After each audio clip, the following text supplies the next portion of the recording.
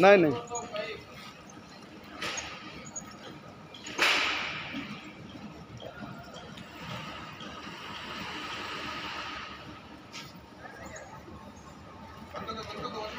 बंद करेगा बंद करेगा। अरे बंद कर तो डस्ट नीचे जाएगा। नहीं जाएगा जी क्यों जाएगा?